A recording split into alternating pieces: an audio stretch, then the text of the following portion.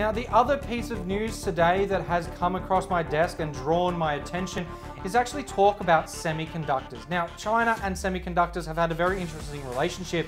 They have mostly been pretty dependent on Western semiconductor companies like Intel and the like, who have been really providing most of those services for them. They want to, China wants to reduce their Western semiconductor dependence and become a self-reliant technology firm is the goal in, at the end of the day. Now, right now, they have started outlining what they're looking at.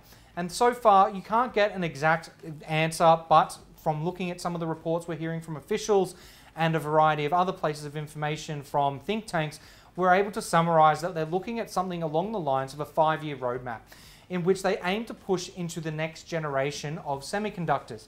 So the idea being that now they kind of just go, all right, well, we'll just put up with what we've got.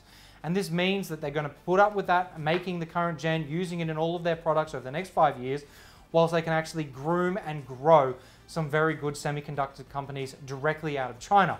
This means that they remove the reliance on Western semiconductors, but also means when it comes to the next generation, they may be able to become the dominant force.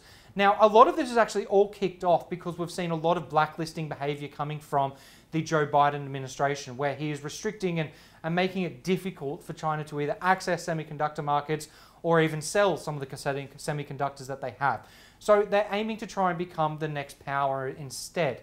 If you can't beat them, make a better opportunity for it instead.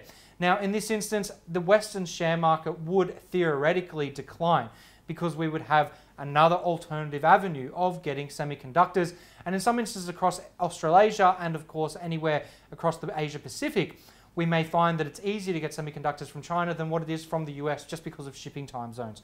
So keep an eye on some of those things in the future. Naturally, this is not something to be taking a trade on today, but we've already started seeing Chinese semiconductors improve. Now, what we've seen he got on this chart here is a variety of China's largest chip manufacturers uh, really climbing in anticipation of this new move towards pushing towards semiconductors as a domestic front and then eventually moving it to offshore relations as well. So of some of the companies that we've got on the screen here, they have all been pushing up. There is a variety of them. These are just happen to be the top four or five.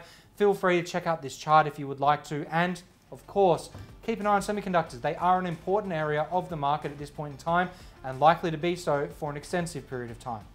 Now, if you have any concerns or would like to get in contact with me about your trading today, feel free to send me a message at any of my social media channels. And of course, don't forget to check your economic calendars and don't forget to like and subscribe so that you can get more great videos from me and ACY Securities in the future. Have a great trading day ahead.